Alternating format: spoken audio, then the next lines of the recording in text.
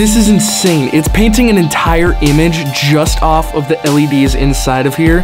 I can't wait to shoot this. We're gonna shoot the entire video at night, so we're gonna come back a little later. I got my friend Ashley here who's gonna model for us. We're gonna create some wild stuff behind her. Yeah, let's put the Magilight to the test.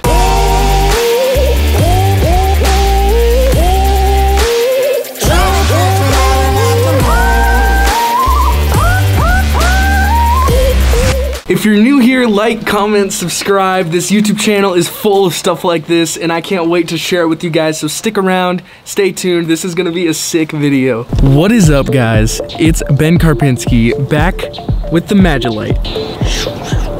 This thing is insane. I've been doing a couple, like, test runs with it and I cannot wait to show you guys exactly what this thing does. So if you look right here, I don't know if you can see, but there's like a little screen, right?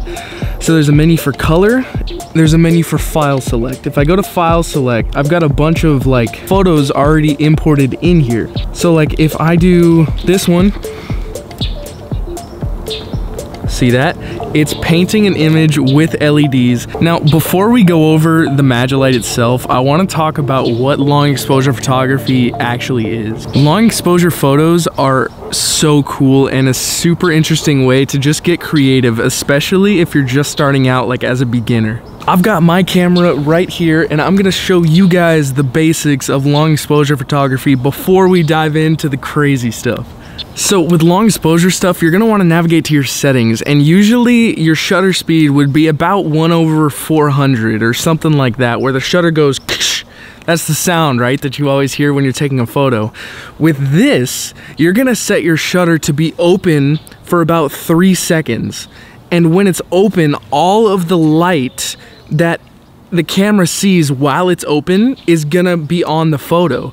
So when you're light painting, the shutter is open for a full three seconds. You put a bunch of light in front of the camera and boom, you have this insane photo with like all these light drags and crazy things like that. Um, I'm gonna show you a super simple example just using my phone and my flashlight. If I turn this thing on and move it in front of the camera lens while my shutter is wide open, You'll see what I'm talking about when I say long exposure. So on the camera, I'm gonna walk up and change a couple of my settings. My shutter speed, most importantly, is gonna be open for a couple of seconds.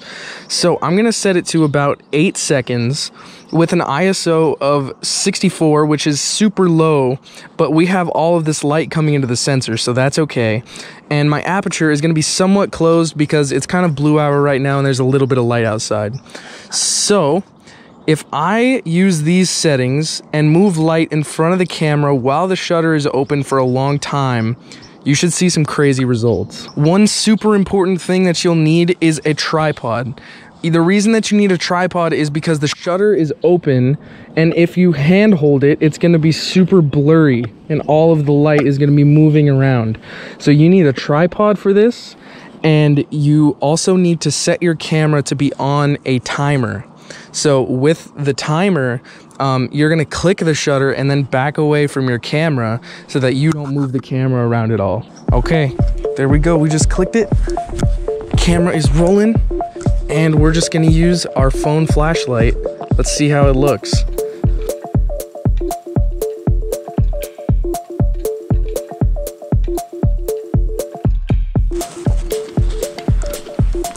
All right. Would you look at that? Now it's a little bit bright outside so you can still see me in the frame. But what we did here is we made a smiley face just using our phone flashlight. That's pretty crazy. Once it gets darker, you'll be able to do some light painting to where you won't even be in the frame at all because light won't be hitting you. So hopefully that makes a little bit more sense. Light painting is super cool, super simple, and if you set your camera to manual mode, drag the shutter all the way down so that it's open for a few seconds, all of the light captured is gonna be what your image produces. I apologize for the terrible, terrible lighting. We literally have this one street light to work with here. Bear with us, this is a nighttime video because we're using the Magilight today. So on the Magilight, there's this little micro SD card port. And what you're gonna do with that is you're gonna put that into your computer And at that point, you can start downloading images onto that. Now, what the Magilight does in post is it will process all of those images and turn them into like a display on the LED. So it's super weird, super interesting, but this little micro SD port is what works the magic really. The light bar can display any kind of simple graphic. A lot of them are like cartoons a lot of them are um, i don't know like basic like fire animations or the american flag or something like that.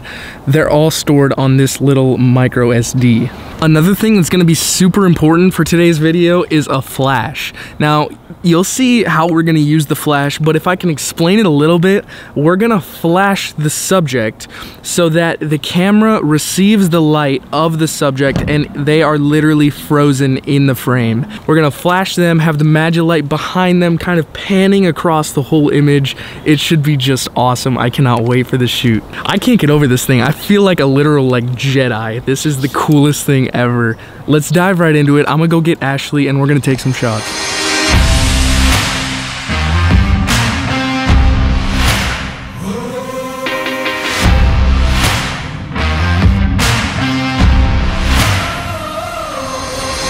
Guys, Ashley is here to help us out for this video. I don't know if you remember Ashley from the last video, the $500 quarantine challenge. Um, I might have Jordan help us out with a flash and it should be crazy, so let's dive right into it. Okay, first shot with the Magilight.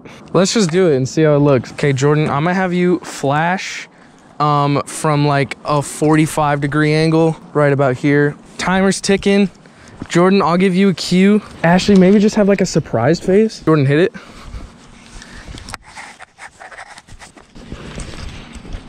No, I need to. Oh, we need to get the flash closer.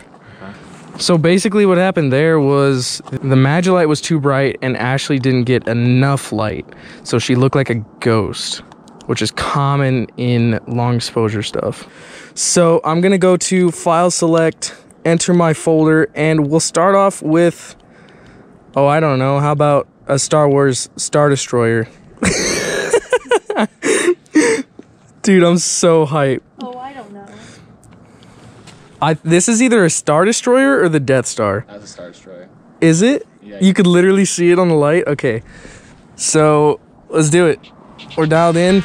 I'm gonna run over here. And... So, I have to stay painting pretty flat. Okay, go ahead. Okay. Now, I'm gonna paint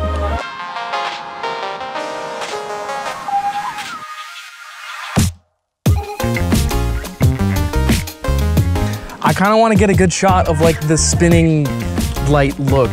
Um, we're gonna do like a close-up, tighter shot of like a portrait. Long exposure photography is so repetitive.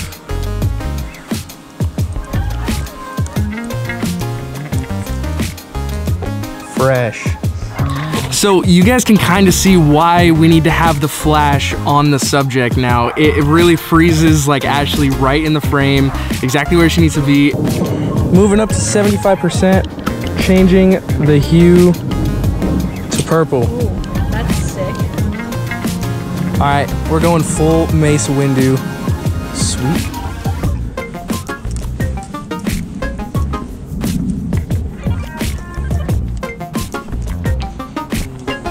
Yeah, that's better. That's cool. Beautiful. Boom, boom, boom. I don't know what this file is, but we're gonna do it anyways.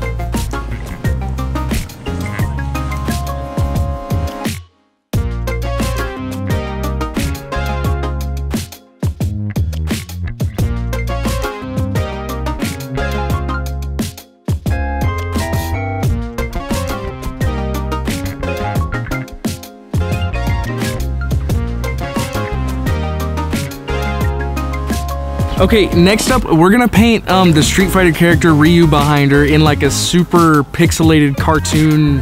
It's gonna be insane. Should I do the, the Street Fighter stance? Yes. 10 out of 10, Street Fighter stance approved. Okay, nice. Run it right here.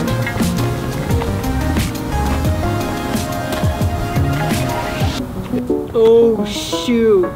Oh, that's so sick. Wait, No the eyeliner way. Perfect. Nice Wait, job. what? That's what I was worried about. The eyeliner. But it looks like you're looking right at it. It really does. That's nutty. Benjamin. Ben Karpinski. Hey. Ben. Ben Karpinski. Dude, the Magilight low-key makes for a nice studio light. I used it in my last video, by the way. It was like over my head and it made like a blue light. Guys, the model has taken over as the creative director. Ashley is now using the Magilight. This literally can be used anywhere.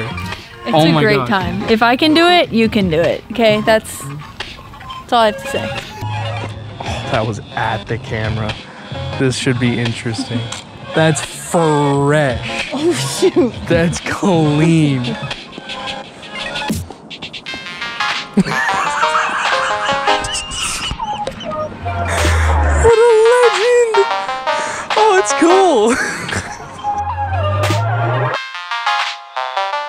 you wanna try again? Yeah.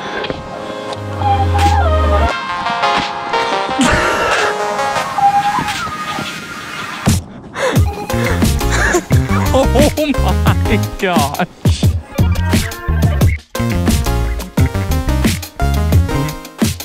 So guys, that's the Magilight. This thing is so fun and literally anyone can use it. Long exposure photography is so cool, so fun to play around with, especially at a time where you have limited resources. We can only stay inside, so we need ways to be creative.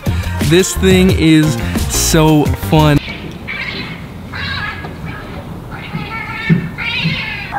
Bruh.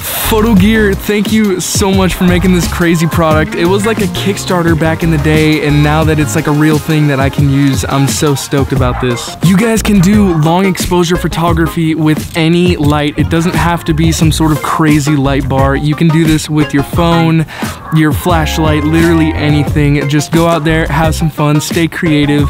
Subscribe if you're not already. Like, comment down below. I'm looking forward to seeing y'all in the next video. Thanks so much.